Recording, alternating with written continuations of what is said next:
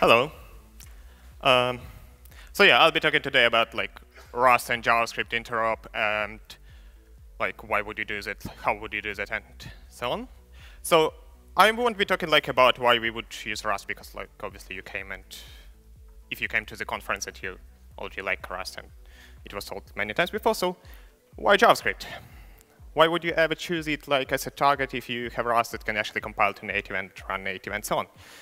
Well, you like it or not, but like JavaScript nowadays is like the real cross-platform target. Like you have it on desktop, like whether it's macOS, Linux, Windows, whatever you have, you most likely have a browser that can just run JavaScript no matter on which platform you are. Uh, and this is pretty cool. And like also you have lots of other devices, like it's normal to run it on tablets. Just the same JavaScript will just run out of the box It's really cross-platform. Like no surprise that it is on like available on phones. Like everything basically has browser now, like even TVs or like ebook readers, you might want to just visit some pages and run JavaScript using your reader, or even, I don't know, like Nintendo. Why don't just you visit Facebook and read something on your Nintendo, right? Or like, probably the best idea ever, like while you drive, just visit some website in your car and respond to comments and try to reload pages. What could go wrong? Or you just decided to leave your computer and decided to get some food and went to your fridge, but like here you suddenly saw a browser and you can just continue chatting from your fridge. Why? Or like, like it's really available on all sorts of devices nowadays. Like you can even watch your websites on your watch. Not that it's extremely convenient, but like, well, it runs, right? So you just run one code, write one code, and run it literally everywhere. You can just do whatever you want. OK, so uh, how do we do that? Like Rust is quite low-level target, and it mostly compiles to native code. Uh, how do we even get to the stage where it generates JavaScript that can run uh, across all these platforms like without uh, significant changes? Right? So the answer is Emscripten. So Emscripten is a project that allows you to, that allowed basically to compile native C, C++ code uh, to JavaScript, or nowadays also WebAssembly target. So the way it does it, like basically takes input C, C++, converts to control flow graph with uh, pretty low-level operations, uh, and sends that to LLVM. LLVM generates uh, low-level bit code that is still platform independent. And then it generates like native objects and native executable. Oh, sorry, this is like how CLang works. Emscripten is basically uh, just a fork of CLang that changed uh, only two bits. So it removes the need for uh, native objects. So in uh, Emscripten, like obviously native object doesn't matter because you are not generating like platform-specific code anymore. And if you generate static library, it just uh, takes the actual LLVM bit code and uh, archives it together to uh, .a file and so on. And finally, when you are building your executable or dynamically loaded library, instead of building .so, .dll, .exe, or whatever, it just generates JavaScript for you out of this LLVM bit code, basically translated it one-to-one, -one, and then probably optimizing. And these both projects are based on LLVM, and luckily, Rust is also based on LLVM. Surprise. Uh, so what Rust does, like, just like C language, just instead of C, it takes Rust, generates CFG SSA using LLVM APIs, uh, generates bitcode, native object, native executables that you can run, and so on. So when we put them together, like we can see that this LLVM uh, block is shared, and what Rust can do instead of like trying to teach Emscripten uh, to understand Rust itself, it can just literally inject and skip all the stages that Emscripten does, and just pass the generated LLVM bit code directly to Emscripten, and Emscripten already knows how to deal with it and convert this low-level bit code to the actual JavaScript. So like we uh, just lose all these uh, extra steps with generating native objects and native executable, and just uh, and Rust does half of the job coming to the stage where it generates this low-level bit code, from Rust, like that is like platform independent, and like it just removes uh, vector instructions or like other low-level stuff that is supported only on specific platforms, sends this to MScript, and Emscripten knows how to generate JavaScript out of it. So how do you get uh, how do you get started with uh, Rust in JavaScript? Let's write like simple hello world. Uh, just a warning, like there will be lots of unsafe stuff. Uh, but initially, let's start. Let's try with something simple. Nowadays, it's quite easy because uh, Emscripten, like ASM.js, is native target in Rust itself in Rust core. So you can just write like literally fn main, println hello world, and you compile it using rustc dash dash target ASM.js unknown Emscripten. Or if you want to generate a WebAssembly, just wasm32 unknown Emscripten from Rust, and you can just run like node hello.js, it will print it. Or you can just include this JavaScript in your browser, and it will also like print something to console. So this just works out of the box. Sorry. Um, so this is nice and cool, like, but uh, what if we want to export something like build a library that actually like exports some Rust functions to JavaScript so that you could use them instead of just running an entire application on in Rust and have access to entire DOM to uh, networking API and everything else that is exposed only on JavaScript side, but at the same time use Rust for anything that is fast. So as a simple example, you, we can just like nowadays use uh, same syntax as we use like for exporting C fun uh, functions to CFFI. So we just do pub extern uh, on our function and add no mangle. And uh, Rust will automatically export this uh, function to Emscript and tell it that it needs to be exposed to JavaScript as well, not only like on C level. The only problem with this is that it doesn't work, like small one. Uh, because static libraries, uh, as I said, like in, in Emscripten, they have same meaning as everywhere else, except instead of native objects, you uh, have in LLVM bit code. So you can't really build a static library that is also JavaScript at the same time. Instead, if you want to build a JavaScript library, you need to build an executable. So you just add empty main. And you compile it as like executable, but it will be a library. As I said, unsafe. Like. The only problem is this, small one, that it doesn't work.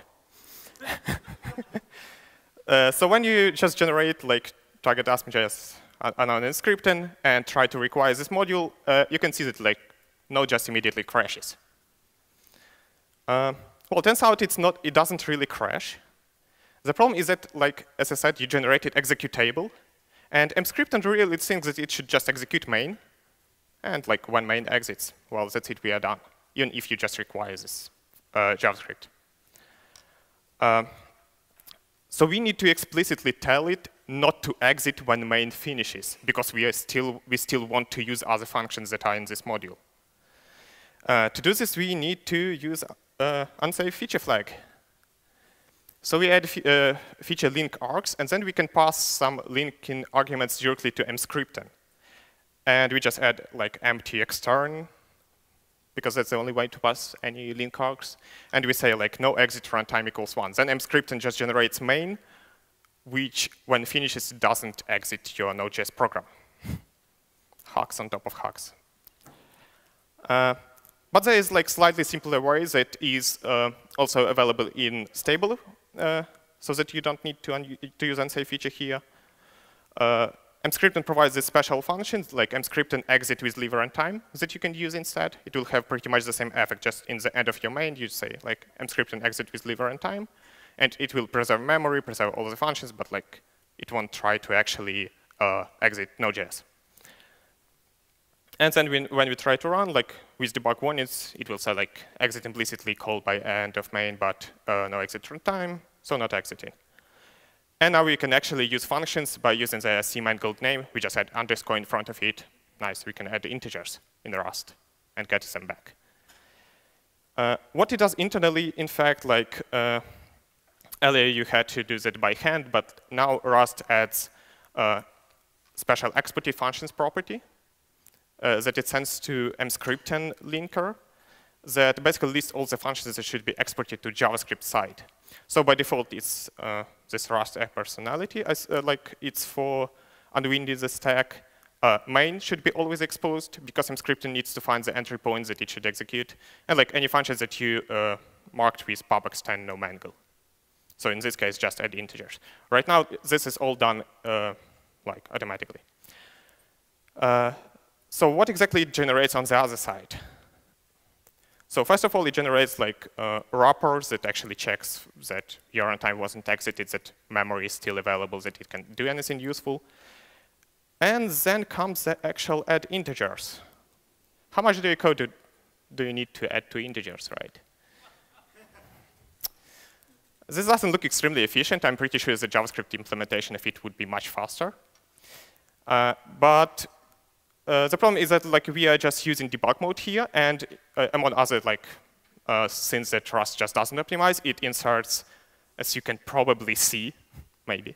Like in the end, it just inserts overflow check that uh, when you add two integers, like does, the number doesn't become too big, and Rust uh, like always inserts them in debug mode, but strips in release mode. So if you try to recompile release mode, uh, the code becomes slightly simpler. So it still doesn't look very straightforward. The reason for that is that, uh, is that asm.js is not exactly uh, normal JavaScript. Like you can't just uh, write like return x plus y here. So asm.js is in fact special syntax for very low-level operations that is backward compatible with JavaScript, but it, compiles like to native code immediately ahead of time, like without any JIT. So in this case, these annotations uh, are like normal JavaScript operations that also tell ahead of time compiler uh, which types do you have on each um, variable return value and so on. So in particular, like uh, the first argument um, or like binary or with zero, it automatically converts number just to 32-bit integer. So ahead of time compiler can know type uh, of uh, this parameter afterwards. Same it does for the second one. So this looks extremely hacky, but basically what it does, it just tells that these two parameters are of type uh, i32. And then when it returns value, it also just adds two numbers and converts them explicitly to i32. So ahead of time compiler, we just, will just compile this to native code as it would be on any other platform. Uh, another flavor of this that uh, became more or less stable recently, it still doesn't work in Node.js, to be honest, segfaults uh, is WebAssembly. So WebAssembly is also standardization of the same uh, format, but instead of using JavaScript hooks, it just compiles everything to actual binary uh, bytecode that, that you can debug as like in Lisp way, because everyone likes Lisp. Uh, but yeah, like it allows you to uh, have at least nice names for every operation that happens and to see like how exactly they are passed around. So in this case, like you have this get local to just get local variables. Uh, uh, i32 add is just instruction for adding two integers and so on. So in general, asm.js and WebAssembly go to, through the same compilation pipeline. The only difference is that the second one is uh, bytecode, so it's much smaller, much faster to transfer over the network, uh, much faster to parse, and so on. But generally, the result is the same native code. So how exactly do they relate? Like asm.js has, like for example, x when you do x plus y or, uh, or 0, this is the same as in WASM you say i32.add, like, and so on. Like when you do f, XOR 0, it's just normal call in WebAssembly. So sometimes WebAssembly outputs slightly more verbose, sometimes it's uh, the opposite. So the last one is interesting. Uh, the way asm.js accesses memory is uh, by having one single memory blob that is given to it in the beginning, and the same in WebAssembly.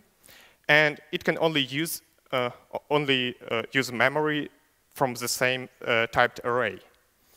So in the very beginning, Emscripten generates just one uh, buffer allocation, and then creates tons of views of different types over this same buffer.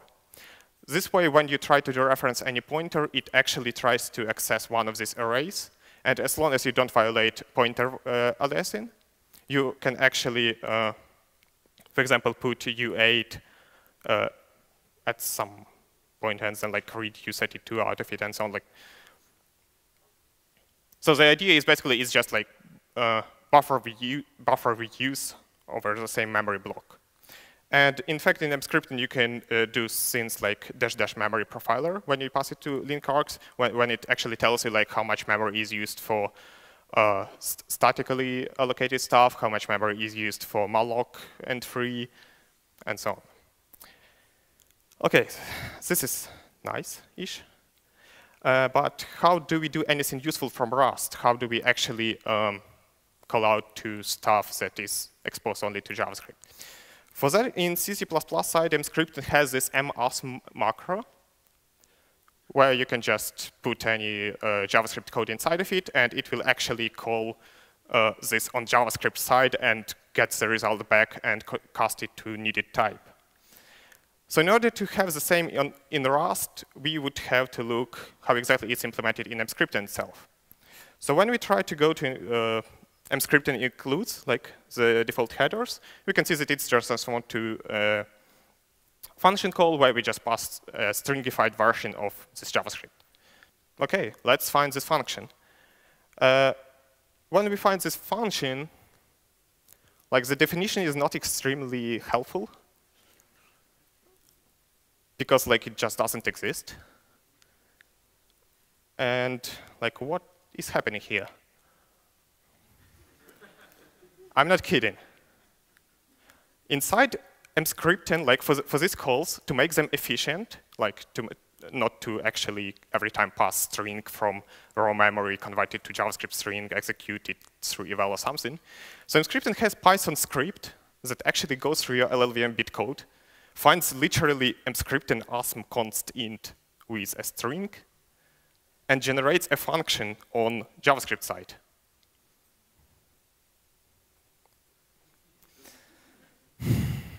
Python scripts. Yeah, I know.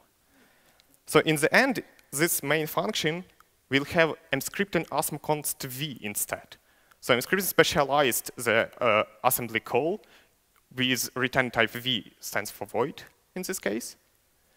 And then in the JavaScript outside of asm.js, it just has literally array of functions where it accepts this code, like zero in this case, and just calls this function like by uh, the references array. There's tons of hacks, but it works quite efficiently compared to like any normal eval or something else.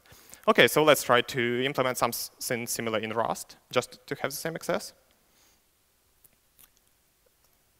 Well, first attempt, like we would want to just use normal AND str. Obviously, it doesn't work because Emscripten expects C-style strings. Who doesn't like strings that end with zero byte and yeah, it doesn't handle Unicode at all. Don't try. Uh, so instead, we have to use actual pointer to set of bytes. And then we can try to call it using uh, the B prefix on Rust strings, which basically tells, like, OK, I want this string to be a raw string, like just byte string, yeah? And we just pass it to this. Well, the problem is it doesn't work. because uh, you need to convert this to actual pointer. Now you have just array. And uh, we need to just add .as_ptr. This is the recommended Rust way to get pointers out of any reference to array and so on. The only small problem is this. exactly, it doesn't work. The reason it doesn't work, as I said, like there is Python script that actually goes through LLVM bitcode and searches for exactly emscripten asm const int and a pointer to some string in static memory that you can extract to JavaScript on the compilation time. When we have .as_ptr, at least in debug mode, Rust doesn't inline the function. So you have actual function call of as_ptr inside of emscripten asm const int, which makes emscripten like, OK, probably this is not re real JavaScript. I won't execute it, and just nothing happens. It doesn't even warn you about it. So we will need to slightly go away from what documentation suggests and just use raw conversion instead. Luckily, at least this works. so you can just do s star const u8, and this is normal cast. It just converts to literal like LLVM cast, and Emscripten can understand it. Even in debug mode, it works. The only problem uh, you, uh, it will try to read too much memory because obviously in C string, like we need to add zero byte manually.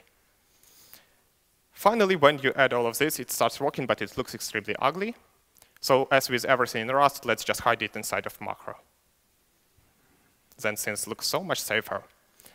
So we can just implement this macro where we uh, actually get the first expression, which is like just normal JavaScript block. We stringify it, we concatenate with uh, zero byte in the end, and do this to conversions to actually get to the point where we have this uh, U8 pointers that Emscripten wants from us. Finally, after that, we can do nice things like just JS alert. And like we you can put anything that we want inside of this uh, JS. And yay, it works.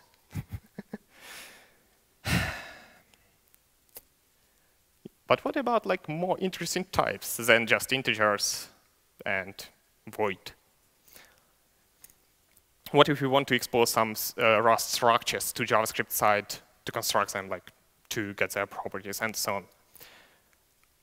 Emscripten itself has a solution called embind, which is like tons of C++ magic with templates uh, that convert your classes to statically to some special Emscripten calls that register them on the other side. And we will have actually to go through them to replicate the same on Rust side. So uh, normal uh, Emscripten uh, example for embind looks like this. You just have some class. You have getters, setters for your properties. Uh, and then to register it for JavaScript to see, you add this thing called Emscripten bindings, where you have these templates like .class, .constructor, .property, and it has the same like for functions, class functions, and so on. And then you invoke uh, Emscripten with dash dash bind, which uh, links it with special internal library that actually transforms these calls to actual JavaScript that will register your types. And then on the other side, like you, you can uh, just require this module and create uh, classes using new my class. It directly translates to C++ constructor, and you can get properties out of it, and so on.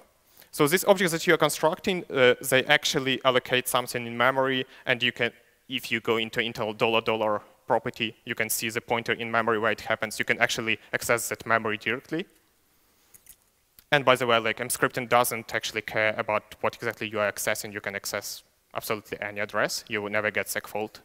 So be extremely careful with what you are doing, because you can like overwrite zero address. I did that. It was scary. uh, now we just want to do the same, but get rid of all the C++ magic that you obviously can't just use from Rust code. So let's look how exactly these templates are implemented. So let's start with registration of class itself.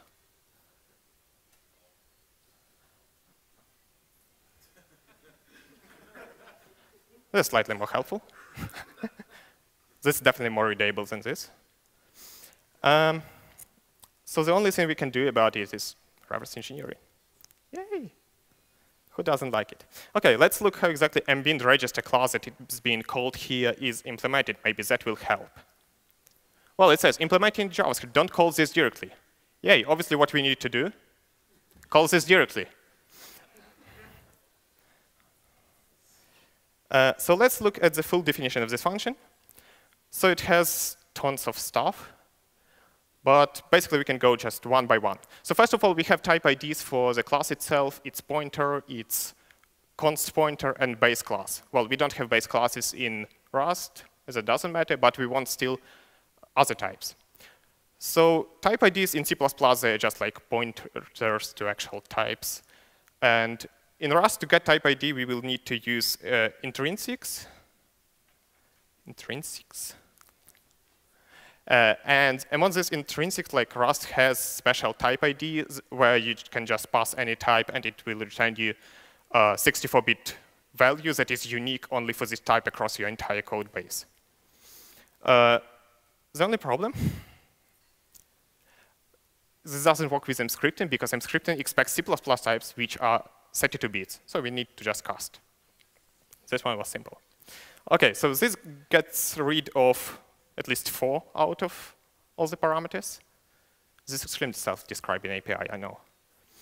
And now we need to figure out like what uh, is the get actual type. Well, get actual type apparently is used for all this subclassing in C++, but like normally for Rust structs, you just want to return type ID of the same type that you got. So you just build a generic function that returns type ID of the type itself. I don't know why Emscripten needs it, but well, if it does. Okay.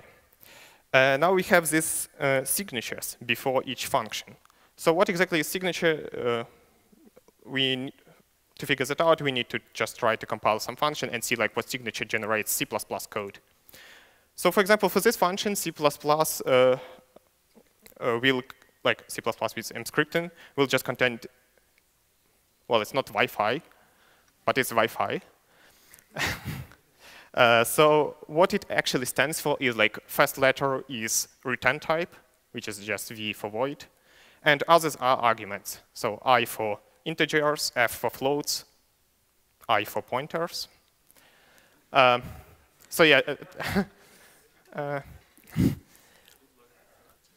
so, so yeah, Emscripten just has three types, void, integer, and floats. And basically everything else can be represented using these three types. Uh, and it doesn't care on the other side because when you call just from JavaScript get pointer, you still need to dereference it through one of the arrays that I earlier showed, like heap 32, heap 8, and so on. OK, this seems to be pretty straightforward. We crossed out a few more of the arguments. And now we just need to uh, pass class name and uh, the actual functions. So for class name, we could use a macro but since we are using intrinsics anyway, why not use another hidden feature of Rust?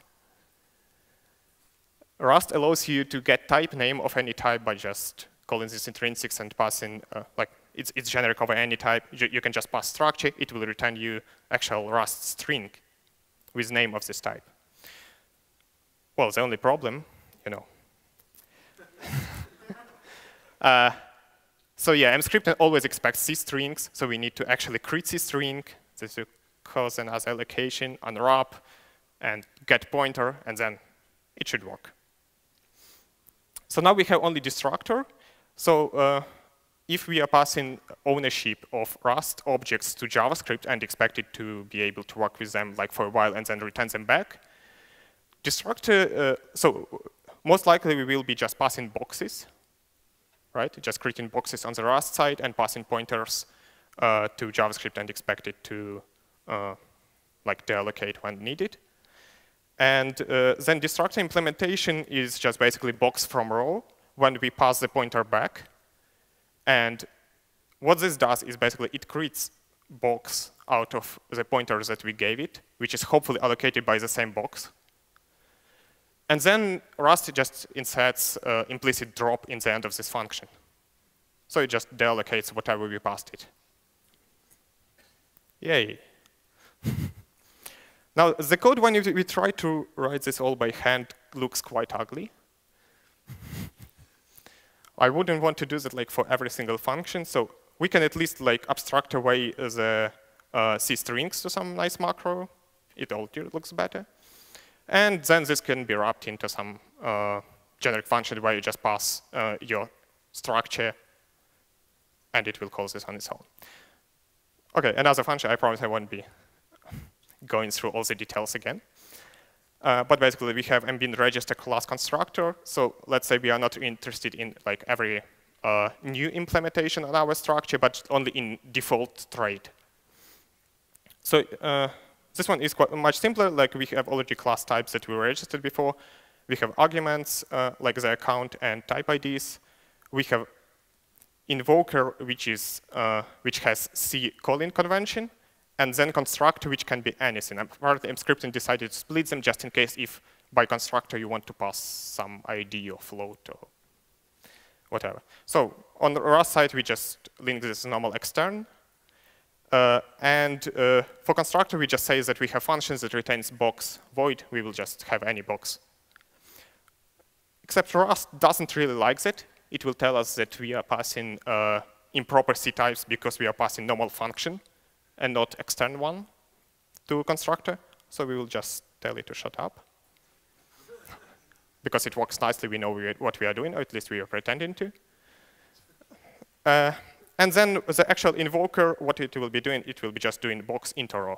So this will be constructing the box on uh, Rust side and just passing pointer to JavaScript and forgetting about it so that it wouldn't drop it until JavaScript says so. And then for our uh, type, we can just get uh, type ID for pointers and pass like everything, lots of scary like pointer lengths. And finally, what we are doing, we just get a default implementation of box T, and we transmute it. Transmuting functions. At least this works. if you find a better way, please tell me. So in the end, when we wrap this all into a nice API, we can just do like take any of our structures that implements uh, default and drop, and just do register class and register class default uh, construct if you have default implementation. And then embind register has lots of other things like um, voids, booleans, integers, floats. Like we can register all these types. And when we register these type IDs, then Emscripten will know how to marshal types from JavaScript side to C++ and back. Um, but for us, we are missing one of important strings, which uh, which is strings. So while for C, C++, it already happily accepts C, like unsafe C strings with zero byte, it accepts std string, stdw string, but memory layout of std string is completely different from what Rust provides. And the only thing we can do is actually like either clone Rust string and add zero byte and pass uh, to Emscripten, or like clone again, but in other memory layout. We don't really want to do that. We want to extend embind to understand Rust types natively. And here we come to the next stage. Uh, how do we implement JavaScript static libraries in JavaScript? So if we want to just extend it and add our own APIs. So Emscripten provides a mechanism for that, where you just write JavaScript into in like special kind of special syntax, uh, where you say that LibraryManager.library should be extended with following functions. And you can literally put, put, like any JavaScript inside of it that you want. And these names, Emscripten will just parse, magic again, and uh, expose to Rust as normal C FFI bindings. So when we just do some my.js, which says alert high, on the Rust side, we can say dash dash JS library, this JavaScript, and just ex extend this function. And we can use it as any other normal CFFI function. So for Rust string, uh, we can just add our own converter, which will register these types. It doesn't look extremely nice, but it's much more efficient than cloning strings on Rust side. So what we are doing here, like when we are getting pointer to str from Rust side, it's actually a fat pointer because str is slice. So it contains both length and the actual pointer to data. So we are just reading both from the heap and then calling pointer stringify, which actually just takes this chunk that uh, we ask it for and converts to normal JavaScript string. This way, any Rust str reference is immediately converted to JavaScript side, and it just works in any functions like console log or anything that expects strings on its side. So then, then we just call it like embind register Rust string with type ID of and str. It registered it. Uh, now, what uh, if we want to get some values from JavaScript side. Here is one big issue that doesn't allow us to do that. JavaScript has garbage collection, uh, where uh, so, so basically like any objects will be garbage collected before they even get to Rust because asm.js doesn't have access to the same memory that JavaScript does, just like WebAssembly. Uh, because of that, we will, Emscripten, what it does, it actually keeps separate array where it just uh, keeps any objects that we ask it to keep. This way, like while it's preserved in the same array, uh, like JavaScript engine will know not to free it. So just for example, like first we start with window, we ask for it, it generated some index for us, just five, for example. This integer we can safely pass uh, to Rust side. Then we can call another operation on this handle that we got. So say we wanted to clone this. This works just like uh, normal uh, RC, reference counting type. So window had like one reference, it internally, Emscripten internally increases like reference count to two, and so on. We can take values, uh, out of it. So for, for example, we want to create value from Rust string, which we just registered.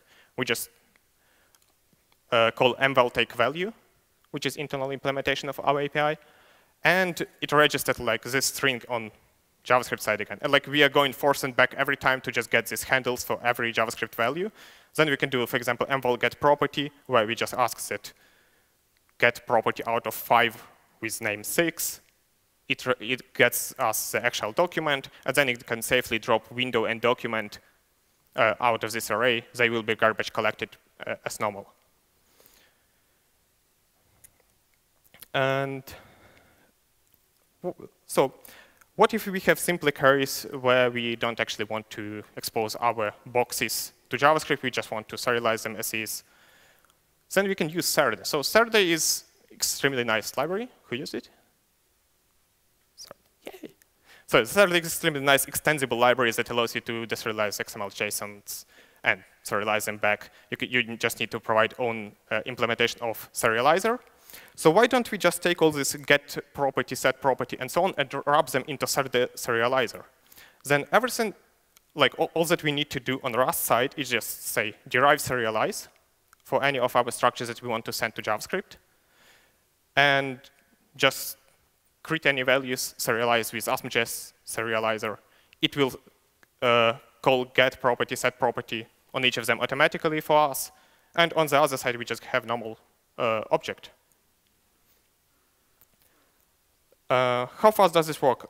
So if you compare just like native JSON parse with Serde JSON inside of AsmJS or WebAssembly, Serde JSON will be about four times slower. The reason for this is like that we are not really competing with JavaScript here, but we are competing with uh, native C++ implementation inside of V8 of JSON parse. So obviously, like any CCP implemented by hand will be slower by default. So if you want to use Rust to just re-implement something that is already available in JavaScript, please don't. Just use it directly. On the other hand, like if you want to just send values forth and back, uh, if you try to use, to use Serde instead to serialize it to JSON and then parse it back uh, in JavaScript with uh, JSON parse, it will be still two times slower than just using this uh, custom serializer where we just send values directly and set all the properties and so on. Um, five minutes? Yeah. Can I show a small demo? Cool. No. Okay. I never understand how Mac Windows work. Why doesn't it appear on the other side? Why is it? oh.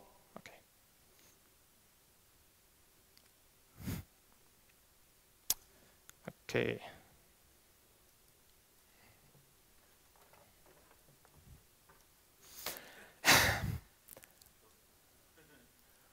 I just don't want to do mirroring.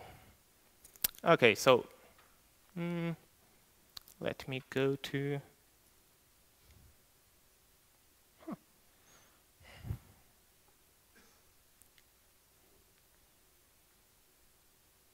Where's my terminal?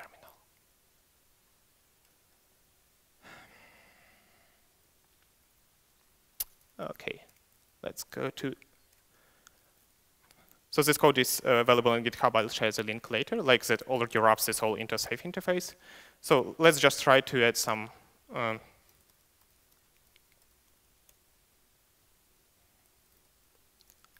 some simple stuff.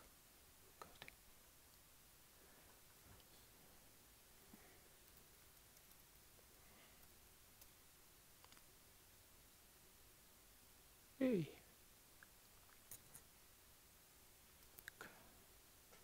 Okay, sorry. Wait one second.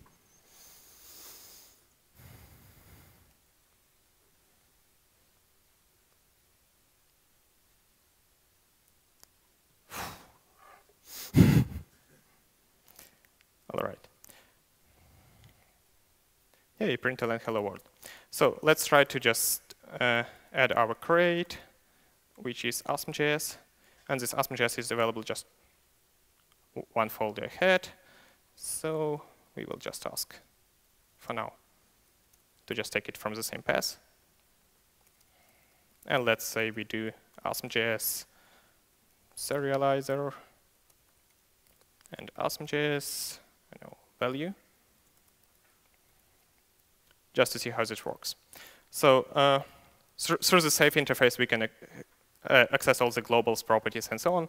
So first of all, let's just try to get global.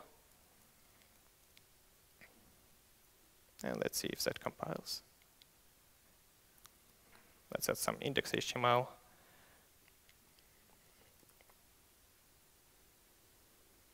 And build this just with Target.js.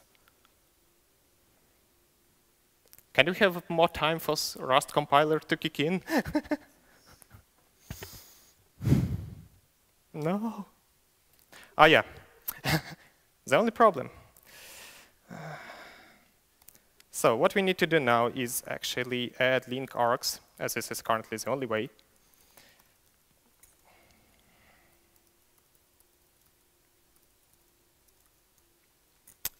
And we need to ask first dash dash bind for emcc to actually link the library and add our JavaScript library.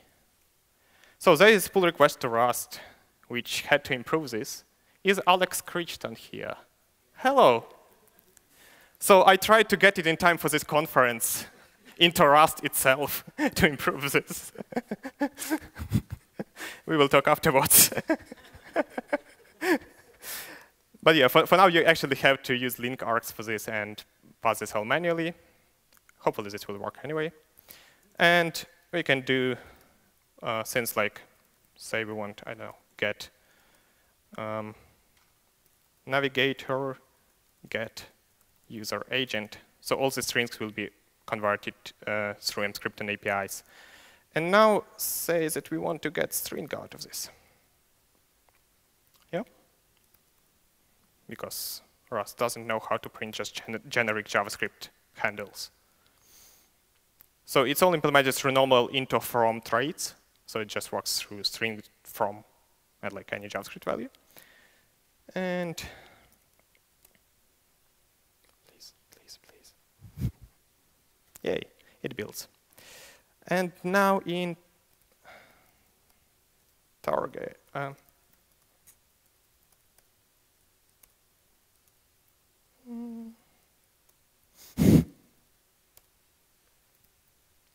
Don't ask. So we just add this script. Uh, so we can extract it out, but it's easier to this way. We can just add this script and try to open this HTML in browser. Let's see what we have in the console. Where is console?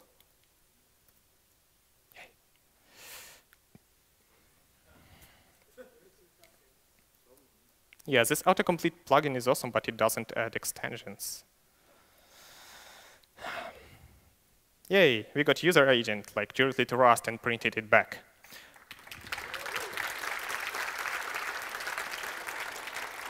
So, and actually this val implements like all other normal Rust traits, like we can do iterators that are normal ES6, like JavaScript iterators, but converted to Rust ones without extra arrays and so on.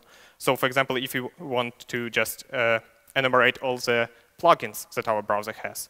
We can just do for plugin in global get navigator get plugins, like just native plugins, and we can like print each of them. But I don't know what I need to print. Let's see how it looks in JavaScript. Yeah, that's the last one, seriously. So just dot name, okay. Plugin get name. And